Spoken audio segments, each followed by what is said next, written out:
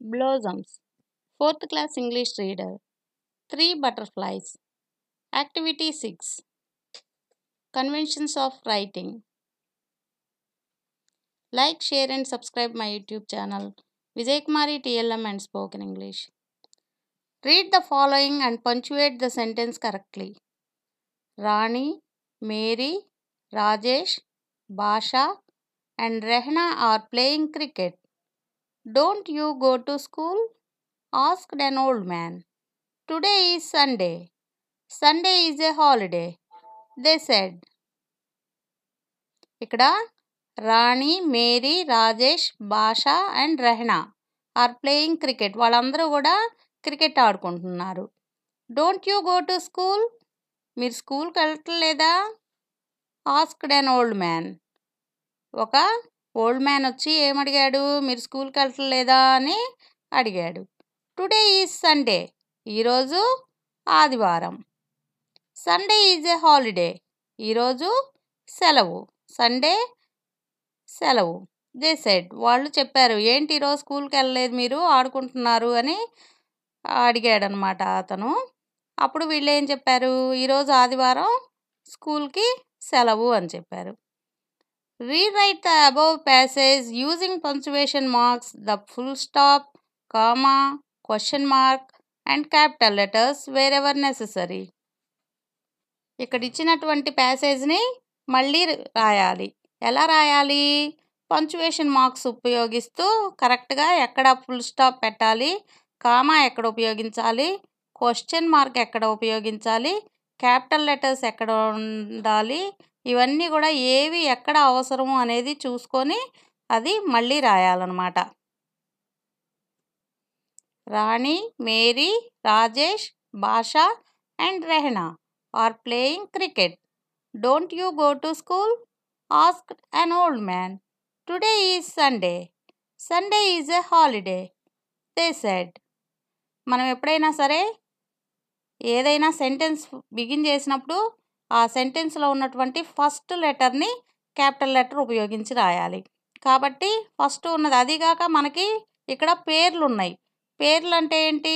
Nouns proper nouns ఆ proper nouns కూడా మనం క్యాపిటల్ లెటర్స్ ఉపయోగించి రాయాలి. కాబట్టి ఇక్కడ మనకి ఇచ్చినటువంటి పేర్లన్నిటికీ కూడా క్యాపిటల్ లెటర్స్ రాయాలి.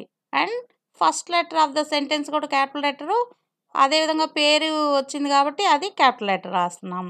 రాణి రాణిలో ఆర్ మేరీ మేరీలో ఎం రాజేష్ రాజేష్లో ఆర్ భాష భాషలో బి అండ్ రెహనా రెహనాలో ఆర్. మొదటి అక్షరాలన్నీ కూడా క్యాపిటల్ లెటర్స్ రాస్తున్నాము. Rani Mary Rajesh Basha and Rehana are playing cricket. వాళ్ళు క్రికెట్ ఆడుతున్నారు. అంతటితో ఒక వాక్యం అయిపోయింది. కాబట్టి అక్కడ మనం ఫుల్ స్టాప్ ఉపయోగిస్తున్నాము. క్రికెట్ తర్వాత. Don't you go to school? Asked an old man. Old man అడిగాడు. ఏం అడిగాడు? Don't you go to school అని. కాబట్టి ఆ అతను అడిగినటువంటి ఆ సెంటెన్స్ని మనం ఇన్వర్టెడ్ కామాస్లో ఉంచాలి. Don't you go to school? ప్రశ్నించాడు. కాబట్టి చివర ఏం చేస్తున్నాం క్వశ్చన్ మార్క్ ఉంచాము.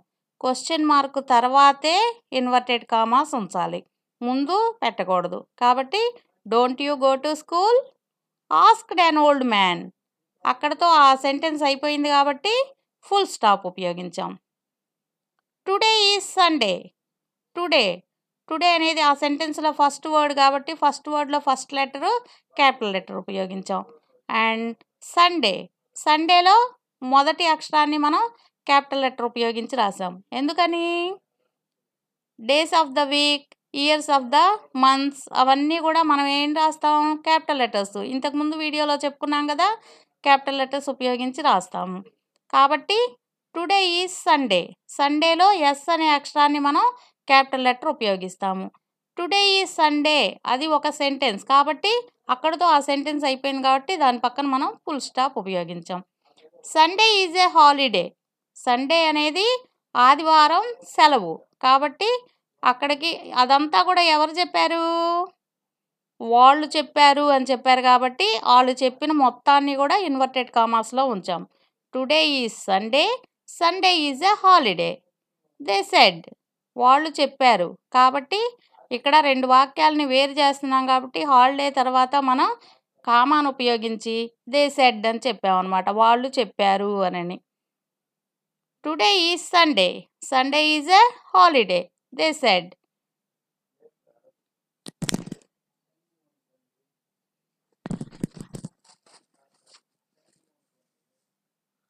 ఇక్కడ కామా పెడతాం కదా సండే ఈజ్ ఏ హాలిడే అని చెప్పి